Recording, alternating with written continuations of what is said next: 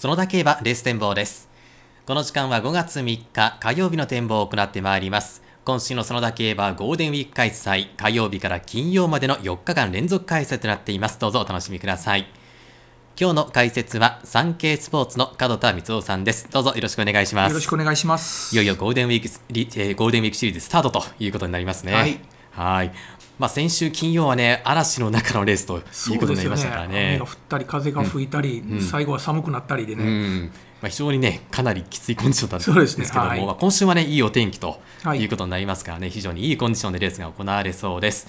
まあ、ただ今回のゴールデンウィークシリーズはあのマイル入場券をお持ちでない方しかあのご入場いただけないということになりますからね。そして5月の4日の分がね残りわずかという情報がね入っていますのでえ入場予定されている方はマイル入場券を買って、えー場内入場ということをお願いいたします。それではまず火曜日の展望を行ってまいります。え5月3日火曜日は全部で12レース行われます。5月の3日は白母開催となっています。開門時刻は11時45分。第1レースは12時30分の発送となっています。ご注意ください。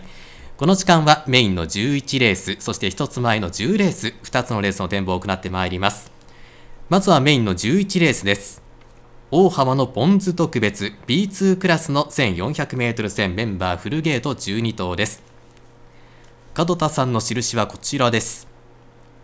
本命は大外枠12番のジューンマウスに打たれました。今回昇級戦です。いかがでしょうか？はい。まあ、これ今はね休み前にまあうん。B2 勝ってますので、まあ、前走勝ちもまあ当然といえば当然なんですけど、はい。まあ完勝と言える内容でしたよね、うん。まあ、仕上がりも良かったですからね、まあ、今回昇級になるんですけれども、はい。まあ、あの B2 で何度も何度も構想してますし、うん。まあね、この昇級は形だけでしょう。そうですね。はい。まあ、前走の勝ちっぷりなら今回も期待していいと思います。そうですね、まあ、そしてこのジューンマウスを管理する堀良平厩舎もここまでリーディングトップの33そう勝とい。うことでまあ、通算300勝もねあと2勝まで来ているという厩舎になります。連帯率50%超えとすいうねね。驚異的な数字を誇るこの堀良平厩舎の管理はジューンマウスこちらを本命にされています。そして対抗が4番のブルーレスカーですまあ、2走前 C1 勝ち前走も55キロ背負って2着といいレースが続いてますね。そうですね。前走は1007を、ね、使ったんですけれども、まあ、早めに、ね、前を捕まえに動くっていうこの馬の競馬はできましたね、うん、まあ、相手ちょっとしぶとくて2着でしたけれども、はい。内容は全然良かったと思います。うん、そうですね、まあ、はい。花差の2着ということでそうですね。ねはい。まあ、距離全然ね、うん。専用に戻るのも全く問題ないですし、うん。まあ、5走連続で連帯中なんで、今回もはい崩れなく走ってくれると思います。はい。まあ、あとはこのまあ仕掛けのタイミングですよね。そうですね、はい、はい、4番ブルーレスカが対抗。そして3番手が5番の当選シルバーです、まあ、2走前 B2 戦好位で2着というレースがあります。そうですね、まあ、前走はね、あのちょっと距離を短くして、まあ、ちょっとあの追走に手間取ったっていうことなんですけれども、まあ、うまいこと足をね、溜めて、直線、ちょっと一瞬ね、来るかっていうような伸びを見せたんで、まあ、8着でもコンマ3秒差ですしね、はい。まあ、ああいう競馬を続けていれば、うん。まあ、いずれまたあの2走前のようにチャンスは来ると思います。うん。そうですね、まあ、位置を取るとこの馬もね結構不気味な存在なんですよね。はい。はい、そして4番手評価が、まあ、前走追い込んで勝った7番のジェッティ。こちらに打たれました。そうですね、当選と同じレースを使ったんですけれども、はい。まあ、3、4コーナーでね、ちょっと囲まれて、まあ、逆に足がうまいこと溜まったんですけれども、うん。まあ、それにしてもね、直線はよく伸びました。はい。まあ、同じ B2 クラスですしね、うん。まあ、1004でもまあ展開が向けば、まあ、再現は十分可能ではないかと思います。はい、末足魅力のジェッティが4番手評価。そして3番のテイク5が最後の印。前走は C1 勝ちで今回昇級です。はい。まあちょっと2走前はね、ちょっといつもより前を一度った分、なんか伸びなかったんですけれども、やっぱりあの前走のように足をためる形が合っていると思います。うん。まあ、昇級になりますけどね、はい。こういうタイプはまああの流れ一つであの、うん。来るとことがあるので、はい。まあ、これもまああの注意した注意しておきたいですね。はい、え印はこの5頭となりました、まあ、展開としましてはやはりこのジューンマウスがねかなり点も早いですからね。そうですね、はい。うん。まあまあ、いけたらいくと思いますけど、まあ、枠が、ね大外なので、まあ、何かが主張すれば別に2番手でもうん。構わない馬なので、まあ、ここはもう逃げても行為でもということですね。ですね。はい。はい。では11レース門田さんの回目ご覧ください。ここは3連単で12番ジューンマウス頭から、まあ、相手に入れた4頭を入れた3連単。まず12点と12番ジューンマウスを2着にした3連単、まあ、ここは印を入れた他の馬たちにも勝つチャンスはあるよということなんですね。はい。はい。まあ、12番を中心に1、2着に入れた3連単合計24点を挙げていただきました。メインの11レース大浜のポン酢特別は発送時刻6時ちょうどです。続いて一つ前の第10競争へと参ります第10競争は4歳以上 C1 の特別戦。1230m メンバー9頭です。門田さんの印はこちらです。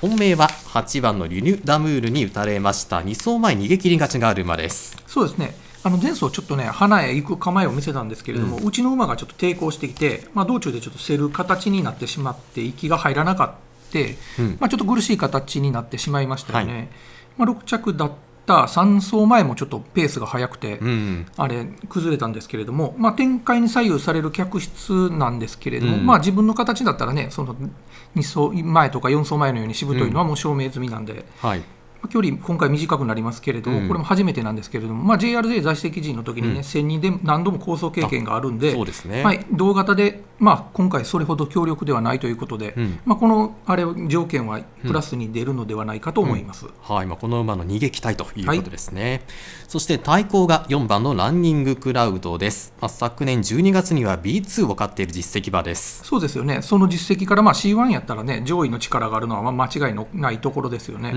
まあ、この馬もね、ひょっとしたら鼻を切る競馬の方がいいのかなとも個人的に思うんですけれども、まあ、あの追ってちょっと甘いところをね、今まで見せてるんで、はい、まあ、距離、これも距離短縮で、うん、あのいい面が出ればと思います。うん、はい、まあ、今回初めての距離ということになります。はい、4番ランニングクラウド、そして3番で評価が5番のローザーブルーです。まあ、1230メートル戦連続2着と構想続いています。はい、まあ、そうですよね。あれ同条件のここ2走がコンマ1秒差で、うん、まあ、前走もね大外からすっとこういい位置を取れましたよね。はい、まあ、とにかくレースが上手で、まあ、今回も大崩れなく走ってくれると思います。うん、はい。そして4番手が2番のマルメロです。まあ、前走9番人気ながら3着と構想しました。そうですね。久々に馬券圏内へ来ましたよね、はい、まあ、9歳馬ですけれどもね、まあ、前走のようにまあ展開が向けばまだまだやれると思います、うん、そうですね、まあ、この距離2勝そして2着2回3着5回ということで実績があるマルメロを4番手評価にされていますそして最後の白三角が9番のネクサスです。こちらは大外枠ということで、こちらいかがでしょうか？ですね、ちょっと前走出入りの激しい競馬になったんですけれども、うん、まあそこでね、4角ちょっと先頭に立ったりしてね、まあ、見せ場は作ってたんで、はい、でまあ、そこまで大きく負けてないということで、まあ、うまく噛み合えば、これにもひょっとしたら連に届いてもいいのではないかと思って、最後に打ちました。うん、はい。まあ、この9番ネクサスまで印を入れていただきまして合計5頭に印を打たれました。では10レースの回目ご覧くださいここは3連単で8番のリュヌダムールをここは頭固定ということで、相手に印を入れた4頭ということで合計12点を挙げていただきました。第10競争の C1 特別戦は発送時刻が5時25分となっています。そのだけは火曜から金曜の4日間開催開催となりますどうぞお楽しみくださいそして火曜日には名古屋競馬場で柿つばた記念グレードレースが行われます。兵庫からはイグナイター、サンラーノークの2頭が遠征を予定しています。まあ、まずはイグナイターが何といっても注目ですよね。そうですよね。あの実績的にもね、うん、あの JRA の馬はまあ強いんですけれども、はい、はい、ここ頑張ってほしいです。そうですね、まあ、中央勢ですとヘリオス、ワイドファラオ、ピンシャン、ラプタス、タガノビューティーという、まあ、実績馬がね揃っているということですけども、まあ、金量も56キロということでも背負い慣れた金量ですからね、ね。はい、はい、イグナイター連続ダートクレード制覇なるかという柿島記念が行われます。どうぞご注目ください。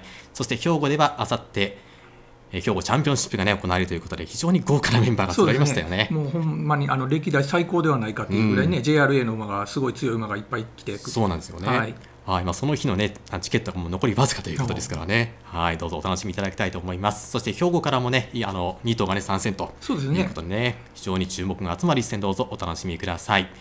ここまではサンケイスポーツの門田光夫さんの解説でお送りいたしました。どうもありがとうございました。ありがとうございました。そのだけ馬ゴールデンウィークシリーズはご覧の日程で行われます。